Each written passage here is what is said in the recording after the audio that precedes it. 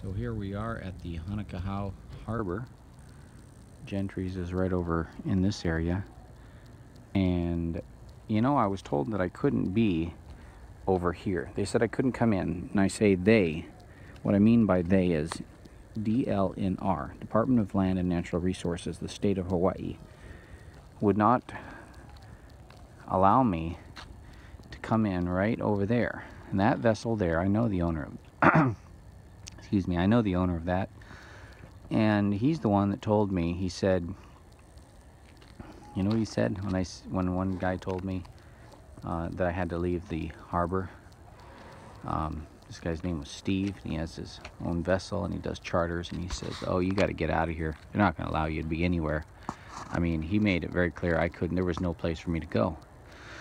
Um, and then if I stayed around, I'd have big fines. I'd end up in court and all this stuff. Now, someone said he was drunk, but he didn't seem drunk.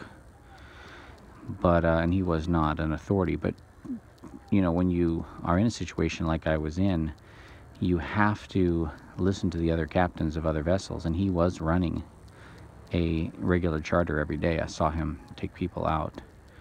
So, and he has a very nice wife, and he's a very nice man himself. I really enjoy talking with him.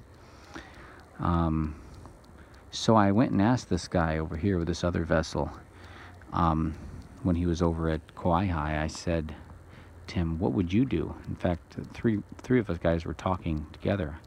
I said, what would you do? And he said, oh, I would just go right up to DLNR and with a, a legal document, a letter, and say, you've been served.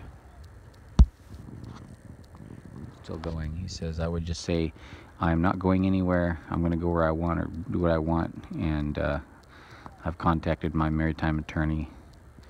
And uh, but he he, you know, that's that's kind of goes against my personality to be forceful and mean like that. But I'll tell you, I'm I'm going to learn this this industry or this harbor stuff is teaching me a lesson. Look at this old boat over here. There's no reason why the Bobolink should have sunk.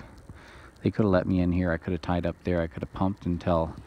Um, you know, some, in fact, it's interesting, as Gentry said they would haul out if DNL, DLNR would have authorized it.